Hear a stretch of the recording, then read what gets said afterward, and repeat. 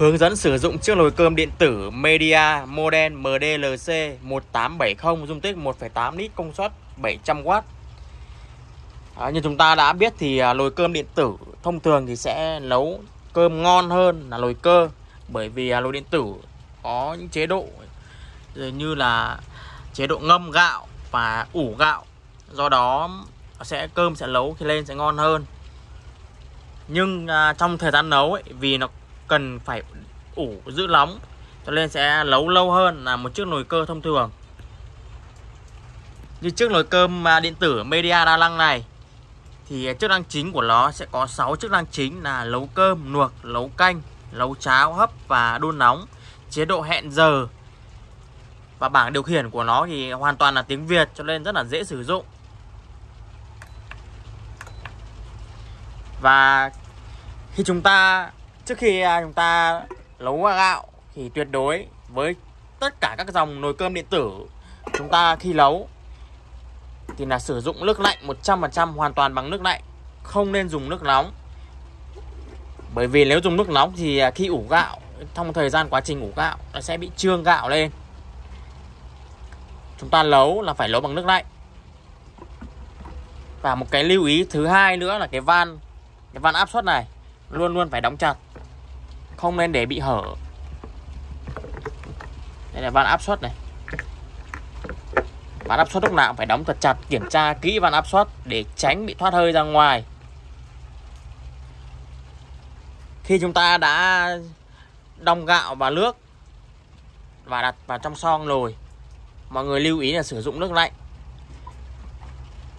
Van đã đóng chặt thì ở chế độ nấu cơm chúng ta sẽ chọn cái chức năng. Ấn nút chức năng, chọn chế độ nấu cơm. Và sau đó sẽ ấn nút bắt đầu. Và khi à, bắt đầu hoạt động, thì cái bảng điện tử nó sẽ hiển thị vòng xoay. Với lồi media thì sẽ có đầu tiên là chế độ chuẩn bị nhiệt. Đèn sẽ báo chuẩn bị nhiệt này. Sau đó chuyển sang chế độ ngâm, làm nóng ra nhiệt đun sôi làm chín và ủ ấm. Khi cơm đã đạt nấu xong thì lồi sẽ báo hiệu. Và chức năng luộc nấu canh à, nấu cháo hấp đun nóng cũng vậy. Chúng ta sẽ để chế độ ban đầu này và chọn chức năng bằng cách là phím bấm chức năng luộc nấu canh nấu cháo hấp này, đun nóng này.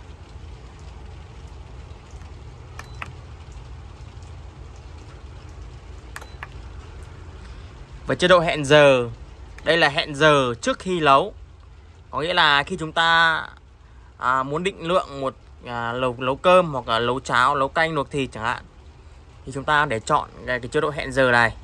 Đây là chế độ hẹn giờ chuẩn bị nấu này. Hẹn giờ này 30 phút này. Tăng giảm bằng cách ấn phím cộng trừ.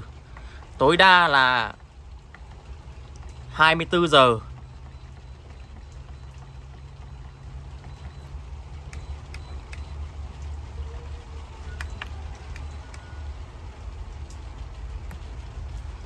Và tối thiểu là 30 phút. Hẹn giờ là hẹn giờ đây là hẹn giờ trong quá trình nấu. Tức là khi các bác à, đi làm từ buổi sáng Và đến từ buổi trưa chúng ta về Chúng ta muốn nấu cơm thì chúng ta sẽ cho sẵn cơm và nước vào trong nồi Sau đó hẹn giờ. Ví dụ đi làm ca sáng đến ca trưa là khoảng 4 tiếng Người ta sẽ hẹn khoảng 4 giờ. Đến lúc về nhà thì cơm sẽ vừa hay nấu xong ươm nóng và mức nước ta sử dụng cho chiếc nồi cơm điện tử này thì chúng ta cũng nấu với mức nước thông thường. Nhưng có điều là khi à, đun nước ấy, thì chúng ta tuyệt đối không sử dụng nước nóng sử dụng nước lạnh để nấu cơm. Chọn chế độ nấu cơm và sau đó ấn bắt đầu.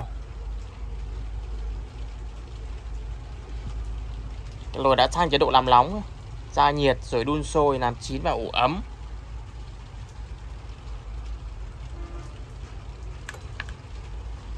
Cảm ơn mọi người đã xem video. Nếu có thắc mắc thì xin gọi điện liên hệ trực tiếp, Zalo 097 280 2081